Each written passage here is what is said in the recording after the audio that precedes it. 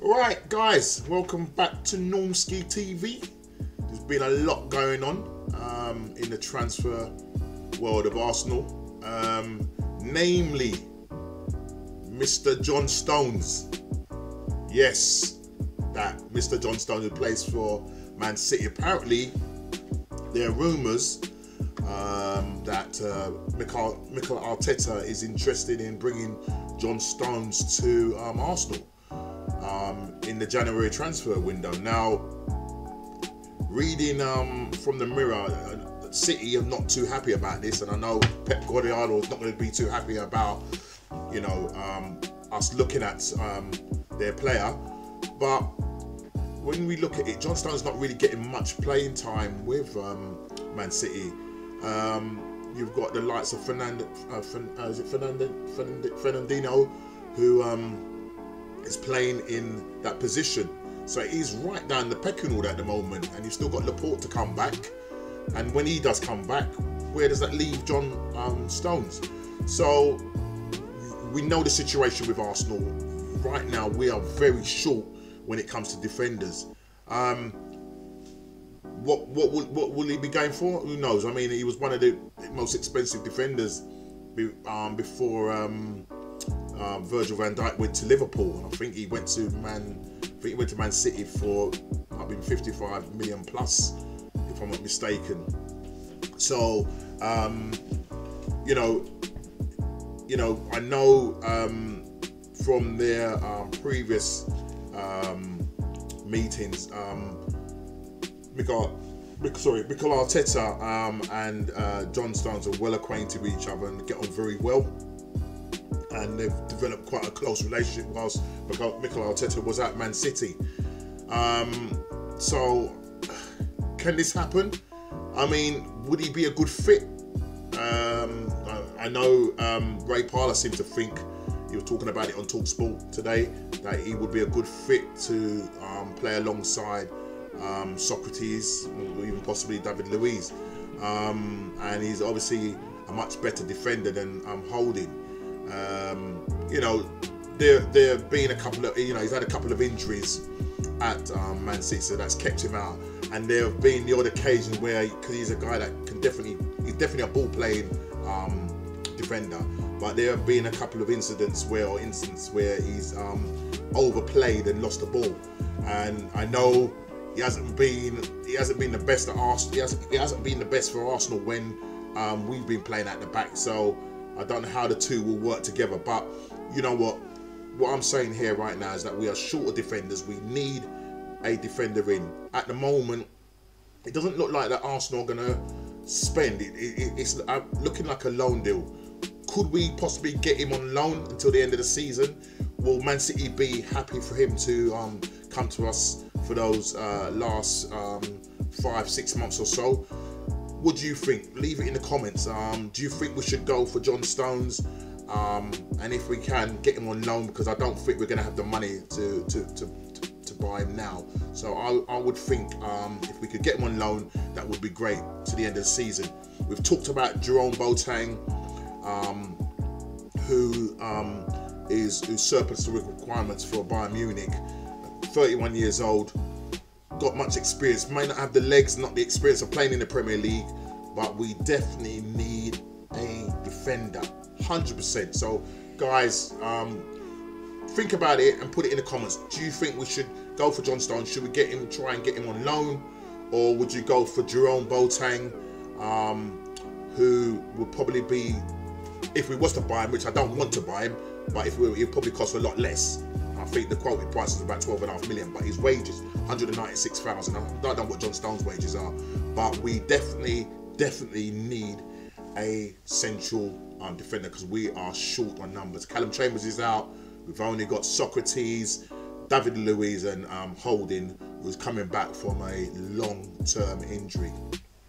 Right, um, let's move on. Um, there's a lot of talk around um, um, Lacazette. I was just watching uh, Sky Sports and they were saying that um, there's a possibility that um, uh, there could be a swap deal between uh, Alexander Lacazette and Thomas Lemar.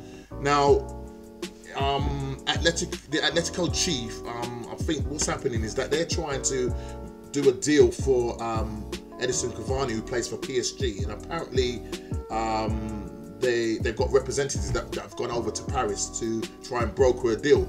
Now they're saying that if that falls through, if that falls through, that the second choice would be um, to go for Alexander Lacazette, but that would mean that um, um, if if we if we if if we go for him, I think um, Atletico Madrid are saying that they would look to um, make uh, make um, Lemar a part of the deal or to to do a swap deal.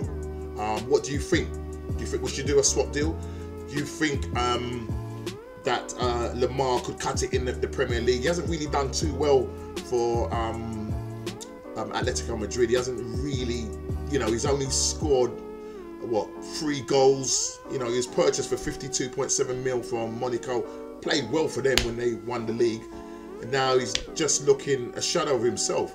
Would we take that chance? Lacazette, he knows the Premier League. The only problem with Lacazette is that at the moment, you know, there's, something that doesn't seem quite right. Um, he's not playing the way we knew Lacazette when he first came to the club. Not banging in the goals at the moment, um, and we really do definitely need him to start banging the goals. As you know, um, Pierre Aubameyang is out for three games, and so Lacazette has to step up to the plate. Would you swap Thomas Lemar with um, Lacazette? And then saying all of that, um, there's talk of um, Thomas Lemar even going to Wolves. So, you know, will this happen? Will this happen that um, we'll be able to do a swap deal? Will we get Thomas Lemar because he's linked um, heavily with Wolves? So it, again, we can just just watch this space and you know see you know what happens. I mean, at the moment, um, it's looking like for Arsenal at the moment, things just seem to be really, really quiet on on the home front when it, it comes it comes to incoming um, players. Um, it is looking that we're going to have to go for um, loan deals. and just hoping that we first and foremost get a defender in. We may even need to be looking at a, a, a defensive midfielder um, as well, um, with the um, Lucas Torreira possibly being out maybe for a few weeks. I'm hoping. I haven't heard no news and, and, and in terms of his condition, but I'm hoping he'll be fit and rearing to go for the Sheffield United game. But at the moment, we're picking up injuries left, right, and centre, and we're falling short in a lot of those those particular departments. So we really need to be getting that sorted out.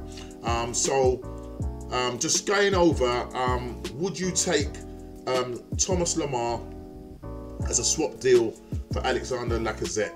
Um, and if so, do you think he could do a job for us? Um, you know what we could, what could possibly happen is that he could play on the left. Um, you've got Martinelli. Um, oh, sorry, play on the. Yeah, you could play on the left. Um, Pepe playing on the right, and with um, Barringham playing down the middle. So that means if we leave, if we lose Lacazette, then we've got like a player like uh, Martinelli who can come in, who can actually play out left or actually play down the middle. He's done it a few times for us um, for the Europa and some of the cup games, and he's done really well. Scored quite a few goals. So, you know, um, we're gonna have to see and see how this all pans out. But the news is that um, Atletico Madrid are eyeing Lacazette if the deal fails with um, the PSG um, um, Cavani. It's Cavani. Um, and then you've got the John Stones um, situation. Could we get him? And if we do get him, would he be a good fit um, for Arsenal? He's a he's a ball playing um, defender, um, and so Arteta knows him very well. But will Man City let go of him? That is the, the problem. And I think in looking at it, I don't think they are going to let go because uh, you know they are, they are playing still in a lot of competitions. Um, and Laporte, I don't know how far he's away. I know he's gone back and started training, so you know he, he, he will be back soon. But they're going to need all the defenders that they can um, for their you know for their push for uh, you know a couple of those titles. Um, so for Arsenal, we got to make sure we get something done and done as soon as possible. Um, the other thing um, was interesting, um, which I saw was in the news, is Arsenal um, fall, falling down the, the money pecking order.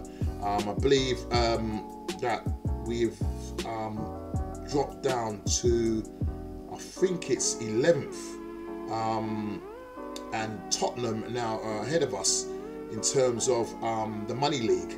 now, you know, that's purely down to the fact that um, we're not in Champions League. We haven't been in there for two seasons, and um, you know it, it's unlikely that we're gonna we're gonna get in there um, this season, um, make top four. And the only way we can do that is through the Europa League. So, so if we are to get back up there, I mean, we're only going back a few years. I think in 2010, the Money League table, we were fifth richest club um, in the world.